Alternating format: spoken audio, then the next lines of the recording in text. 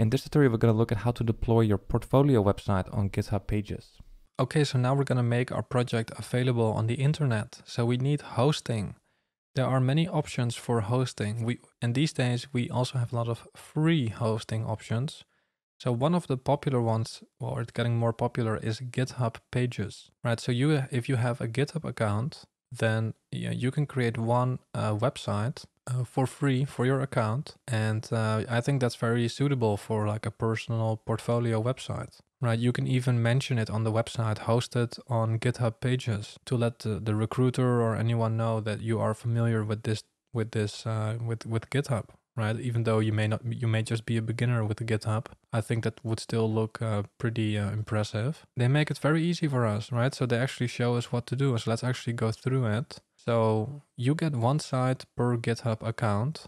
Okay. Okay, so step one is to create a repository and the name of that one has to be your username on github.github.io. Okay, so you need to log into your GitHub account and you can click here on new repository. You can also go to your repositories and then you can also create a new one. Okay, so it says create a new repository. Now here you need to use the exact name of your um, GitHub account. So for me it's bytegrad. It's not it's not capital it's not capital sensitive, but um, it needs to be the name. So bytegrad.github.io. Okay, so if you have that, you don't need to change anything here. You can just click on create repository. Okay, so then we have all of this. So let's go to the next uh, step. So it says what Git client are you using? We're using a terminal, right? Since we're using the terminal anyway. Okay, so it says go to the folder where you want to store your project and we need to clone the new repository. And here it's using Git. So Git is uh, a very common tool that we use as developers to deal with um, well our code base. And this is also something you need to install, right? So if you've never used that before, you've never installed it, go ahead and go to the website and install it because you're gonna need it sooner or later, right? So you can just pause the video and just uh, go through it. It should be pretty straightforward, right? So with Git, what we now need to do, right? So it says it right here. So what we can do is here we need to copy this uh, URL. So just copy this. Right, so this is from creating the repository. So then here in our code editor, let's see, we are currently in this folder, right, portfolio website. So what I can do here is it says git clone and then control V for me to paste that URL. So if I do this, it's gonna it's gonna clone that uh, repository in here. And now you can see we have another folder and actually gives me a warning because it's empty right now, right? So if you open this, it's empty. But here we can put the files for uh, what we want to put online, right? So here if we go to the last step, it actually shows us that we need to add an HTML file. Um, and then we need to, we well, this is a very typical thing to do with Git. We need to add all the changes, we need to commit the changes, and then we will push it to GitHub, right? So don't worry, that's going to be very common. But we need to put the the files that we want to distribute in here, right? So let's just copy everything from the dist folder and paste that in here.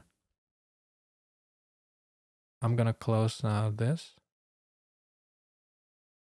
right? So now um, this is what we want to push to GitHub. So what we're going to do is here, I'm still in this folder, portfolio website. Now I want to go in this folder so we can change the directory cd into bytegrad.github.io. You don't have to write the full name. If you if you write a little bit and then press tab, it will actually uh, give you a suggestion. So cd into this folder. Now you can see that um, uh, this part now has changed, right? So now I'm in this, I'm in this folder. So now with Git, we want to push this to Git. So we're gonna we're gonna add all the changes. So we say git add period. It's gonna add all the changes. Then we want to commit, as it's called, and you you have to leave a commit message. So you can say git commit dash m and then a message. Well, we can just call this first commit. Right, so if you press enter, it will uh, commit these uh, changes. It may show you some output. And now we can push it to um, GitHub. So we can say git push origin. This is the, the name for uh, the GitHub repository. And then the, the branch that you want to push. Well, the default here is actually main. So if we do this, it's to push it, right? It's to be pretty quick and it's to show you something like this. So now if we go back to the repository that we created here and we refresh, we should see something. And we do indeed see something. We see our files here.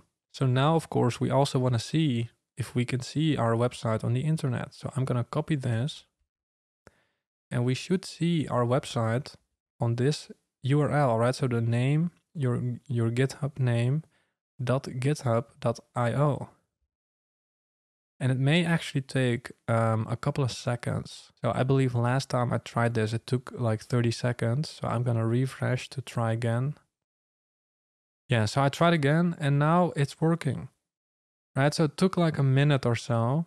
If it takes longer than five minutes, then probably uh, something went wrong with uh, the process. Um, eventually you should see it, right? So now people can visit this URL and they will see this uh, developer portfolio website right? So that is pretty cool uh, and still works exactly like it's supposed to work.